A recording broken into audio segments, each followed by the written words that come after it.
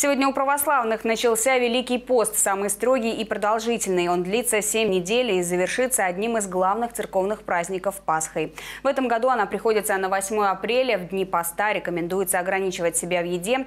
Особо строгими считаются первая и последняя недели, но запреты в еде далеко не главная цель Великого поста. Прежде всего, православные должны позаботиться о душевном очищении, проводя время в молитвах.